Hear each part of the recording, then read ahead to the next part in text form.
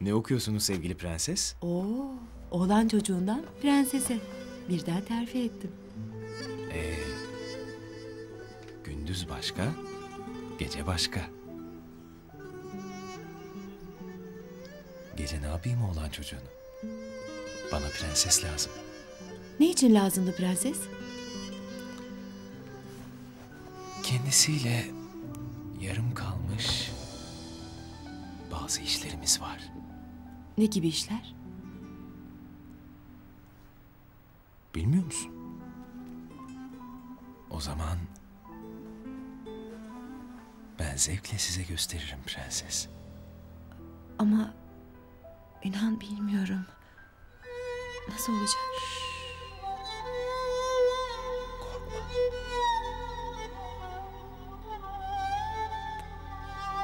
Sen sadece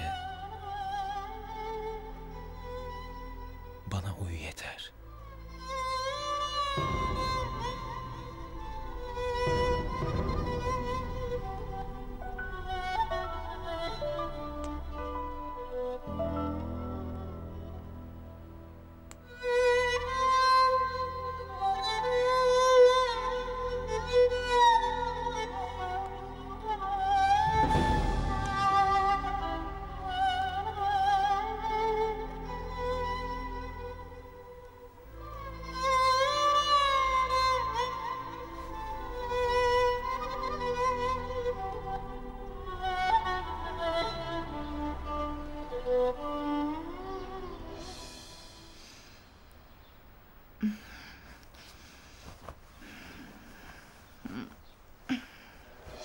Günaydın prenses.